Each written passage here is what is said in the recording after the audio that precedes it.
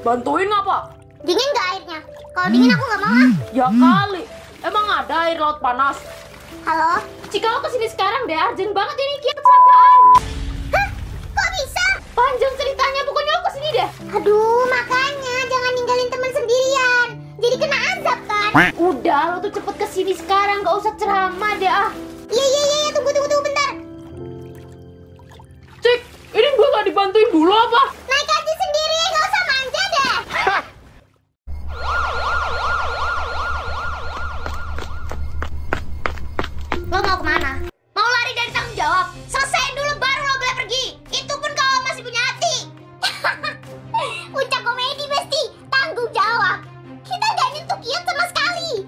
Kecelakaan karena dijambret. Kalau mau nuduh itu mikir dulu, mikir. Gue tahu, tapi kalau gak karena lo nyuruh dia ke sana, dia juga gak bakal dijambret. Masih bisa ngelak. Oh kan yang nyuri HP-nya Juna. Lo juga. Kalau temen salah itu diingetin, bukan malah ikut-ikutan. Dasar babi lo semua. Lo gak usah sok-sokan nyeramain gue ya. Lo bukan ustazah, ngerti? Makin ngelunjak ya nih anak. Woi, abis ini mending lo banyak-banyak doa deh supaya lo nggak dikeluarin dari sekolah.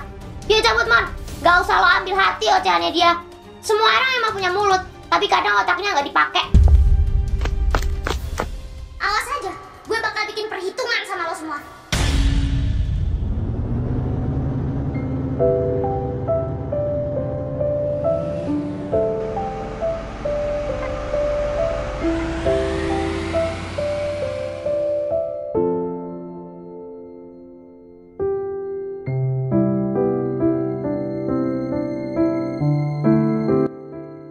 Balik ke penginapan dulu ya. Soalnya masalah ini harus selesai hari ini juga.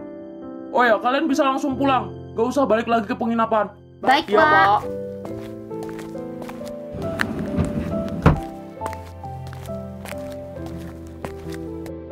Woi, woi, Berisik banget. soalnya gue Cyclopsnya gue injek jangkung lo. Kok gue jadi kasihan ya sama Pak Ziro? Gara-gara si Lexa semuanya jadi ribet. Apaan nih? Kan gue udah bilang nggak usah. Lagian kan gue udah ngerusakin OF punya lo. Gak apa-apa. Jadi cowok itu harus gentle. Janji adalah hutang. Gue cuma berusaha nepatin janji gue sama lo. Nih, terima aja gak apa-apa. Makasih banyak ya. Gue jadi nggak enak karena udah marah-marah dan nolak bunga lo tadi siang. Oh, masalah bunga itu? Gak apa-apa kok. Lagian itu bunganya Lexa, bukan punya gue. Hah? Tunggu tunggu. Alexa. Gue nggak salah dengar nih. Alexa. Iya sih Lexa. Dia tiba-tiba datang ngasih gue bunga. Abis itu lari gitu aja. Berarti sahabat online yang lo cari-cari selama itu Alexa, Hat. Kok sempit kali dunia ini? Yang mana aku tahu kan dia pakai nama samaran. Ayo lo, Hat. Mampus, gak ikut-ikutan deh gue. Mana tadi Hatsuki marah-marah lagi sama Alexa? Mona, kamu sibuk gak? Tante titip Kia sebentar ya. Tante mau balik ke kantor polisi dulu ngurus orang yang nabrak Kia tadi. Sebentar aja kok, nggak lama. Ah iya tante nggak apa-apa kok. Lama juga nggak apa-apa soalnya rencananya kami mau nginep sini. Ya udah tante pergi dulu ya. Maaf kalau ngerepotin kalian.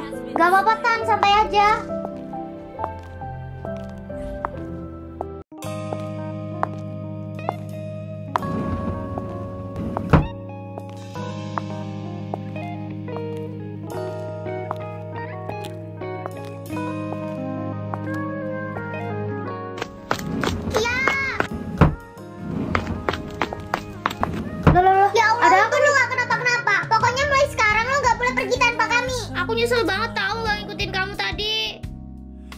Siapa? Jangan bercanda. Tahu nih, gue kayak pret juga lo ya. Aku di mana? Serius aku nanya kalian ini siapa? Lo beneran gak inget sama gue? Gue Cika. Kemarin lo habis ngutang sama gue, masa lo lupa sih? Cika siapa? Gawat dia hilang ingatan gimana dong? Tabok aja udah biar sadar dia. Biasanya di sinetron juga gitu. Dia bohong guys. Panik ya? Kalian. Kan besti-besti swagku. Gak lucu tau. Ah, Kiama kebiasaan deh. Ternyata yang ngajakin lo ketemu tadi itu bukan Juna tapi Lexa. Dia itu mau ngejebak lo. Kayaknya sih dia pengen balas dendam. Tapi lo malah kecelakaan. Terus parahnya lagi, parahnya apa? Ternyata sahabat online-nya Hatsuki itu Lexa bukan Mako. Aduh, udah kayak judul sinetron tuh. Sahabat onlineku ternyata musuhku sendiri. Ya bener Hat. Kok lo bisa nggak sadar sih? Berarti selama ini lo nyaman dong temenan sama dia. Ya entahlah. Tapi sekarang gue tahu kenapa dia ngebully lo. Karena bokapnya nggak pernah perhatian sama dia. Makanya dia sering gonta-ganti cowok. Dia itu pengen diperhatiin lebih. Dia pernah bilang sama gue, dia suka banget sama cowok lo. Dia harap si Juna ini balas balik perhatiannya dia. Tapi nyatanya lo malah jadian sama Juna. Makanya itu dia ngelampiasin marahnya dia ke lo. Mungkin karena dia iri sama kehidupan lo Kia. Tapi masalahnya apa yang dia lakuin sekarang tuh udah fatal banget. Kayaknya dia bakal di DO deh habis ini. Yang namanya ngebully itu nggak bisa dibenerin apa pun alasannya Hatsuki. Ya emang udah konsekuensinya gitu. Siapa juga yang nyuruh dia jahat? Kalau dia di DO dari sekolah, artinya itu pembelajaran buat dia. Tapi kayaknya lo bakal kena juga deh Kia. Soalnya kan lo kemarin juga berantem sama Lexa.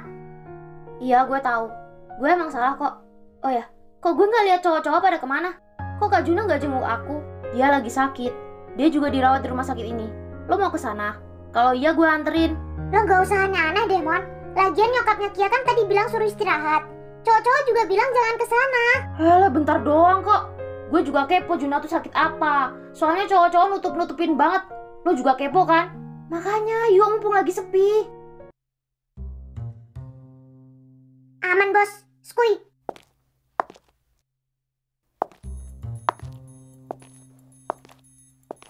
Pelan-pelan gue ini rumah sakit bukan tempat konser. Ya maaf. Mana kagak kelihatan Buka, buka pintunya sombong amat sih lu pada. Woi, Loh, pasien Kiara kan? Kok malah keluyuran? Hmm. Anu sus, ceritanya kami mau nganter dia ke toilet. Soalnya toilet di ruangannya dia itu a- airnya mati. Toiletnya kan sebelah sana. Berarti kami yang salah sus. Iya, toiletnya sebelah sana. Nanti kalau sudah, tolong pasien disuruh istirahat ya, supaya cepat pulih. Dan tolong jangan heboh sendiri nanti mengganggu pasien yang lain. Ah, ba- baik sus.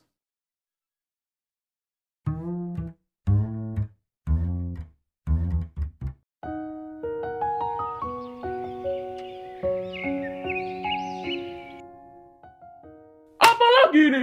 Ternyata nggak salah keputusan papa yang mau kamu cepet-cepet pindah sekolah. Dasar anak gak berguna. Bisanya cuma malu-maluin keluarga. Kan papa sudah bilang sebentar lagi pemilu. Apa tanggapan orang-orang nanti kalau kamu kayak gini? Apa susahnya sih diem sebentar? Nanti kalau pemilu sudah selesai, terserah. Kau mau jungkir balik, mau kayak terserah. mas, biarin dia tenang dulu. Bella, Kenapa sih yang dipikirin papa cuma karir? Mana pernah papa tanya aku gimana? Apa aja yang udah aku lakuin hari ini pernah nanya kah? Gak pernah. Papa itu egois. Egois katamu. Papa kerja juga buat keluarga ini, buat kalian. Kamu itu jadi pelajar harusnya bisa dong banggain Iya. orang tua.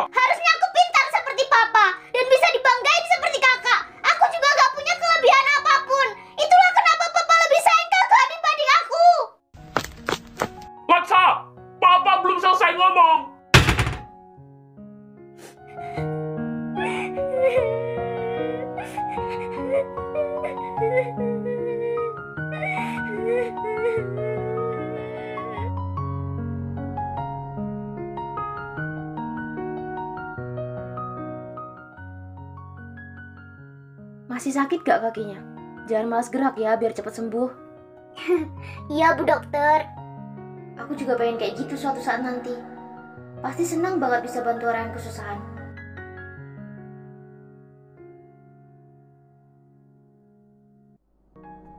Karena benturan keras kemarin, ada kerusakan saraf di otaknya yang menuju telinga, Pak.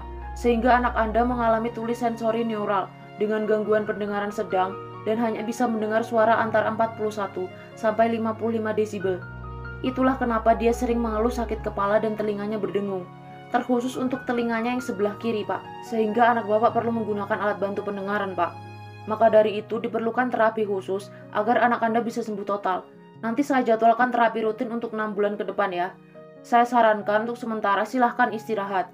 Dan jangan mikir yang berat-berat dulu. Ditunjang dengan obat-obatan dan juga pengobatan rutin.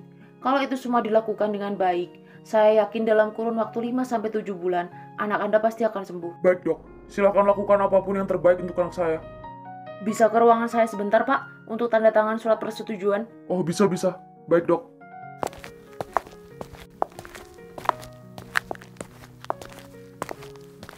Sejak kapan lo berdiri di sana? Baru aja kok. Kenapa dokter bilang kayak gitu? Sejak kapan lo sakit? Kenapa gak bilang sama gue? Itu bukan urusan lo. Tapi gue pengen tahu. Mending kita putus aja. Lo pasti malu kan punya cowok tuli kayak gue. Sampai harus pakai alat bantu pendengaran. Hidup gue udah susah. Lo gak bakal bahagia sama gue. Apa ini semua karena lo nyelamatin gue kemarin? Bukan. Ini bukan karena lo. Kalau emang bukan karena vas bunga kemarin, Kenapa lo nggak bilang sama gue? Kenapa diem? Jawab. Lo sendiri yang minta gue buat hadapin semuanya sama-sama. Tapi lo sendiri juga yang nyerah. Apa pun keadaan lo, gue tetap terima kok. Kenapa pikiran lo sepicik itu sih sama gue? Gue udah capek banget sama sifat lo yang selalu ngelakuin apa-apa semau lo. Putus ya putus lah. Lo pikir cuma lo doang yang bisa cuek? Gue juga bisa kali.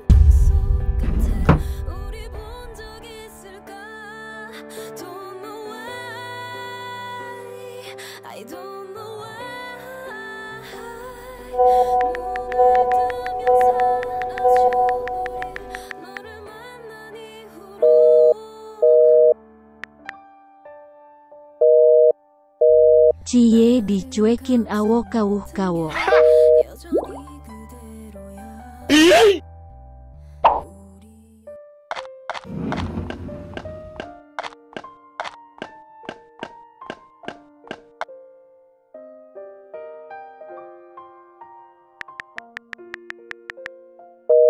Kamu di mana sayang? Kok nggak ada di kamar? Kia lagi di rooftop bu, pengen nenangin diri sebentar. Gak apa-apa kan? Ya udah, tapi jangan lama-lama ya. Kamu kan masih sakit. Iya, Bu. Nanti Kia turun kok. Ibu tunggu aja di bawah ya. Hmm.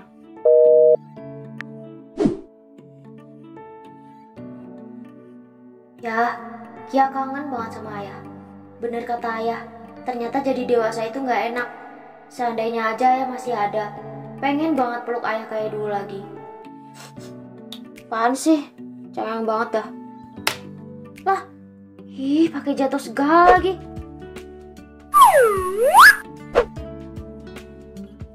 Uh, ih susah banget sih.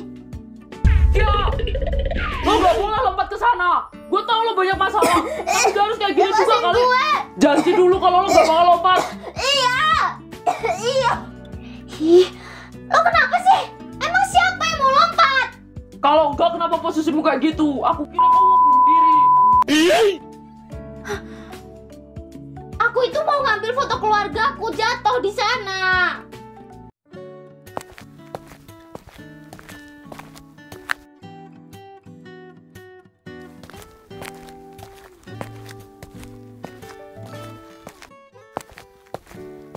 Permisi tante, Kianya belum pulang kan? Eh, nah Arya, belum kok. Besok pagi baru boleh pulang. Kalau kamu mau ketemu, dia ada di rooftop. Oh ya udah makasih tante. Saya samperin Kia dulu. Soalnya tadi dia bilang pengen dibeliin martabak. Ya. Langsung aja ke rooftop ya. Iya Tan. Aduh, udah baik, sopan, ganteng lagi.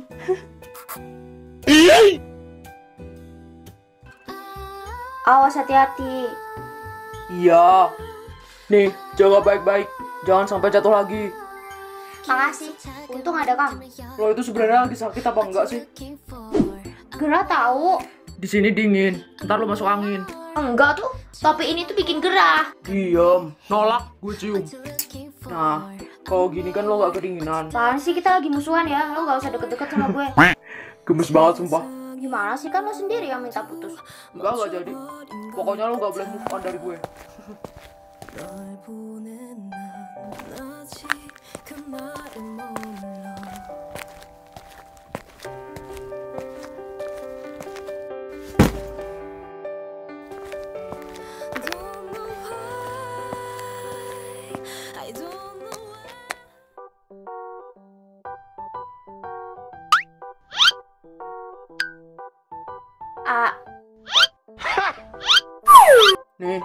nggak?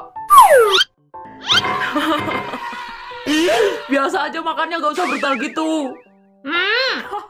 gak usah ngeledek. Kenapa kamu gak bilang aja dari awal kalau kamu emang sakit? Kenapa coba harus disembunyi-sembunyiin kayak gitu? Gue gak mau lo khawatir. Gue takut lo gak bahagia sama gue. Gue takut nyusahin lo suatu saat nanti. Tapi dokter bilang kan kalau kamu berobat rutin nanti bakalan sembuh. Iya, tapi gue bakal catat selamanya. Telinga gue gak bakal bisa balik normal lagi. Mungkin gue cuma jadi beban buat lo. Tenang aja, gue bakal jadi dokter pribadi lo suatu saat nanti. Gue yang bakal ngerawat lo nanti. Lo lihat ya, beberapa tahun lagi panggil gue dokter Kiara. Lo yakin? Lo pikir masuk fakultas kedokteran gampang apa? Saingan lo pasti gak akan mudah. Ya yakin lah, itu cita-citaku dari kecil. Apa susahnya dicoba dulu?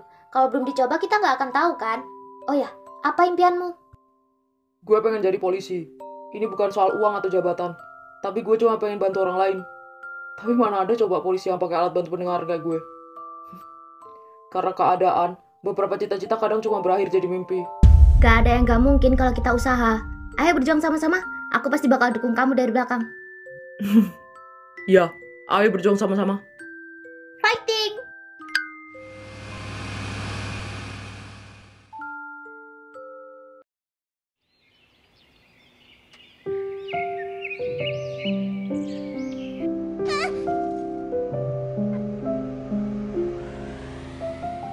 Surat pindahmu ya, Alexa. Oh ya, ayahmu benar gak bisa datang. Soalnya ada berkas yang belum ditandatangani. Papa saya lagi sibuk, Pak. Makanya saya datang sendiri. Katanya sih Rabu ke sini lagi. Oh, ya sudah kalau gitu. Tolong nanti sampaikan ke ayahmu ya. Baik, Pak. Saya permisi. Ya, ya, ya, silakan. Kok bisa sih? Coba dan lo lihat sendiri, Pak. Sumpah gue gak nipu. Kia mau ke mana tuh ngajakin kita? Alah, paling juga ke toilet. Bukan ke toilet, dia tuh lagi nyariin Lexa. Dih, ngapain nyari Lexa? Nyari penyakit aja dah. Apa mereka mau berantem lagi?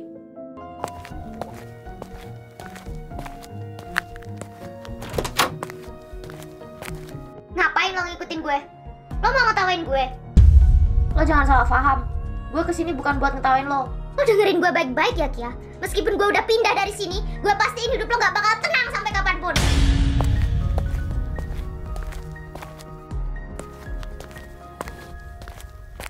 Gue ke sini bukan mau berantem sama lo. Nih, temen nyokap gue punya sekolah seni di kota Sakura. Kalau lo mau, lo bisa pindah ke sana. Nanti biar nyokap gue yang urus supaya lo bisa masuk tanpa tes. Jadi lo nggak perlu pindah ke kampung, Lex. Kenapa gue harus pindah ke sana? Karena lo terpaksa pindah karena gue. Gue tahu lo udah nyesel. Tapi lo gengsi kan? Sorry, gue gak bisa. Hubungi gue kalau lo berubah pikiran. Gak semua orang bisa masuk ke sana, Lex. Itu sekolah swasta yang agak mahal. Tapi gue janji, gue bakal pastiin lo dapat beasiswa. Lo pengen jadi dancer kan? Lo bisa asah kemampuan lo di sana. Kalau lo udah hebat, lo bisa balik lagi ke sini. Tunjukin sama gue. Buktiin ke bokap lo kalau bukan anak yang malu-maluin orang tua. Gue bakal seneng banget kalau di acara perpisahan nanti kita bisa ngedance sama-sama di sini. Pakai koreo yang lo buat sendiri. Gimana? Tapi gue udah jahat sama lo. Gak apa-apa, asal lo tahu ya, gue gak pernah anggap lo sebagai musuh gue, Lex.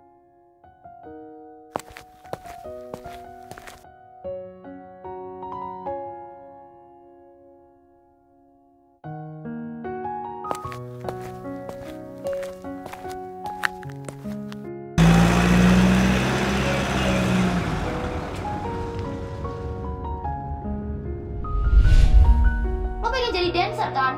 Lo bisa asah kemampuan lo di sana. Kalau lo udah hebat, lo bisa balik lagi ke sini. Tunjukin sama gue.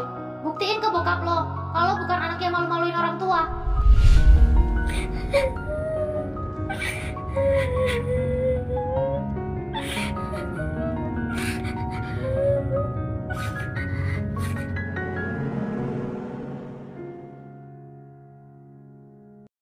Ayo turun. Gak mau.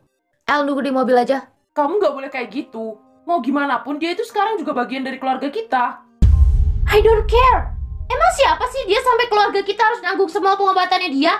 Sampai El terpaksa harus sekolah di sini juga. El itu gak biasa sama bergaul sama orang-orang di kota ini. Oh, ternyata ini yang kamu dapat waktu sekolah di luar negeri. Mama nggak suka ya kalau apa-apa selalu kamu kaitkan dengan uang dan kedudukan. Cepet turun. Jangan sampai nanti papa marah karena kamu nggak mau masuk. Oke, oke, fine. Just do it.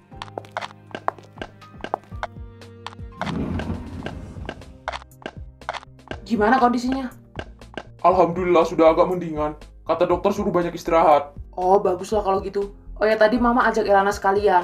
Tapi dia agak bad mood. Soalnya belum istirahat habis perjalanan jauh. Tapi dia ngikut ke sini kan? Ikut, tapi nggak mau masuk.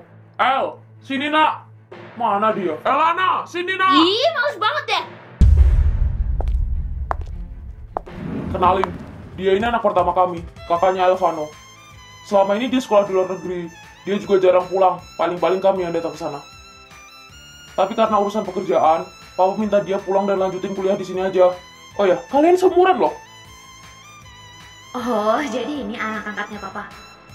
Gue nggak nyangka, ternyata di kota kumuh kayak gini ada cogannya juga. Not bad lah ya. Kenalin, Zivesia Elana Z. Lo bisa panggil gue Elana atau adik El. Atau biar lebih akrab, adik sayang aja gimana? Soalnya kata papa lo bakal jadi my brother.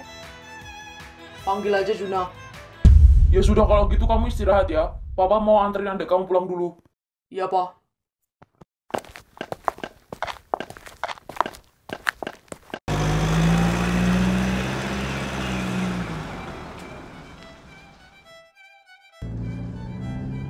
Oke deh kalau misalkan papa mau aku lanjutin kuliah di sini. Tapi aku ada permintaan sama papa. Permintaan apa? Jangan minta yang aneh-aneh. Gimana kalau papa suruh Kak Juna pindah ke apartemen? Hmm, dia kan lagi sakit, Pak. Biar kita bisa pantau dia terus. Soalnya kan jarak rumah kita sama apartemen kan deket. Jadi kalau ada apa-apa bisa cepet responnya, Pak. Bukannya papa nggak mau. Tapi papa udah pernah minta mereka pindah ke apartemen tapi ditolak. Mereka itu nggak mau nyusahin orang lain, nak. Ayolah, Pak, bujuk aja lagi biar Ella ada temennya. Soalnya El suka ngerasa kesepian kalau di sini. Kan Papa tahu sendiri kalau El itu nggak gampang nerima orang baru. Ya, please. Ya sudah, nanti papa coba tawari sekali lagi ya. Ah, makasih Papa. Sayang banget sama Papa. Iya, iya. Apa sih yang nggak buat kamu?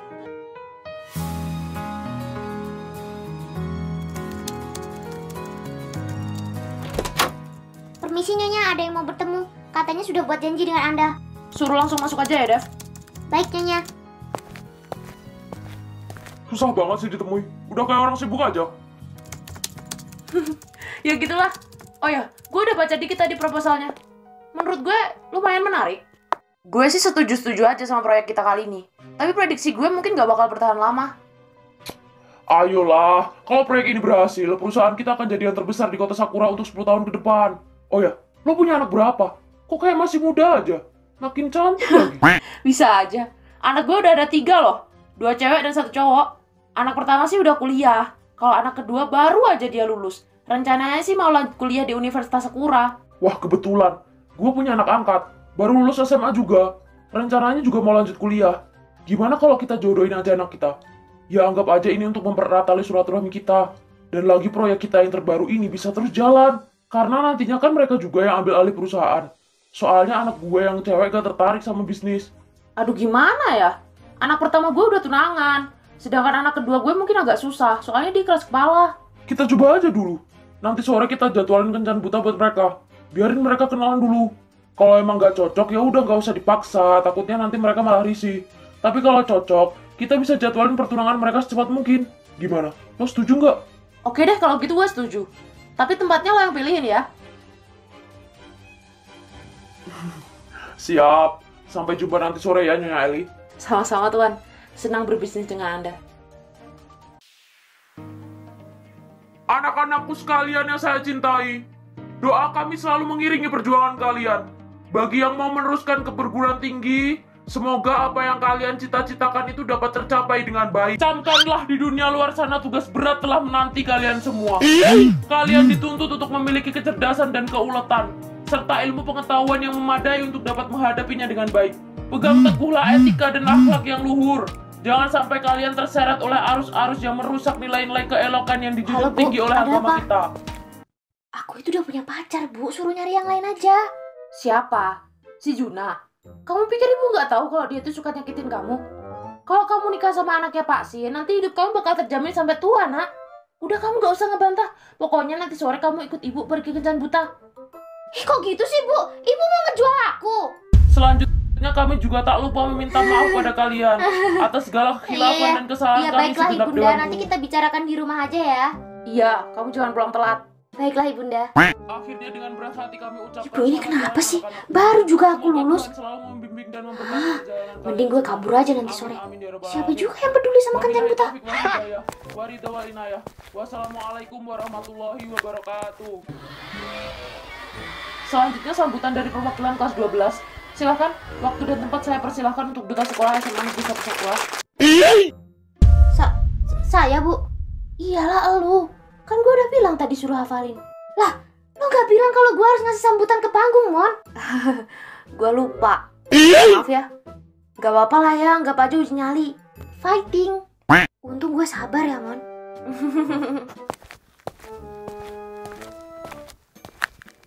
Assalamualaikum warahmatullahi wabarakatuh. Pertama-tama, marilah kita panjatkan puji syukur kehadirat Allah Subhanahu wa taala yang telah memberikan karunia dan nikmatnya kepada kita semua sehingga kita dapat mengikuti acara perpisahan kelas 12 SMA Negeri 1 Sakura pada pagi hari ini. Saya atas nama siswa-siswi kelas 12 mengucapkan selamat kepada teman-teman semua atas pencapaian kalian semua dalam mengikuti pembelajaran di SMA Negeri 1 Sakura. Selanjutnya Duh, apa lagi ya? Selanjutnya apa, we? Salah minum vitamin apa gimana? Kayaknya dia ngeblank deh. Eh, mm, selanjutnya karena mm, Tiga tahun bukanlah waktu yang singkat untuk kita semua. Banyak kenangan yang telah kita lewati bersama. Mulai dari suka, duka, sedih, dan bahagia. Semua itu akan selalu tertanam dalam hati kita semua. Pada kesempatan kali ini, saya berterima kasih kepada Bapak dan Ibu Guru yang selalu mendukung kami, memberi semangat kami untuk terus berjuang menjemput masa depan. kami juga berpesan untuk adik-adik kelas 10 dan kelas 11 agar selalu rajin dan semangat dalam belajar. Jangan sia-siakan masa muda kalian. Teruslah belajar untuk menentukan masa depan kalian. Sekian dari kami. Mohon maaf bila ada kekurangan. Wassalamualaikum warahmatullahi wabarakatuh.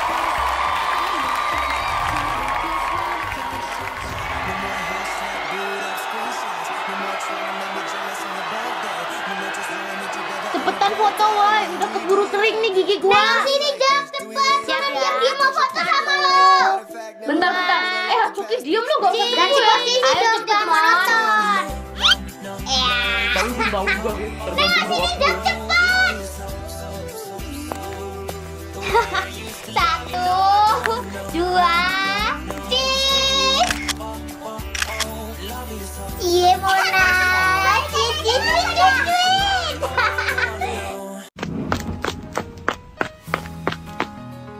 Santai-santai, woi.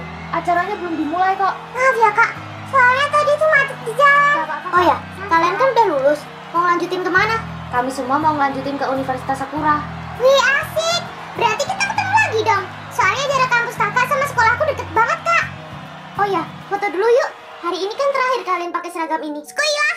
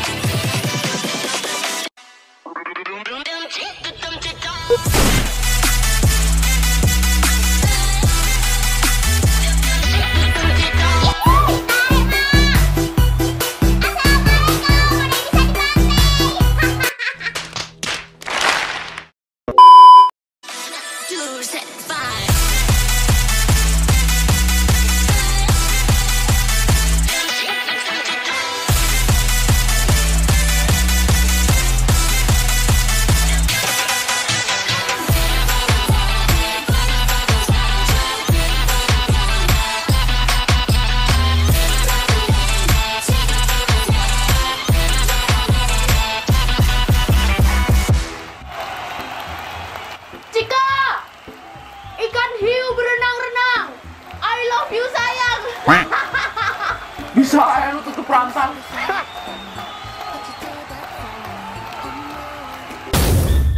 amor 새들이 말해 소곤소곤 What you do that for amor amor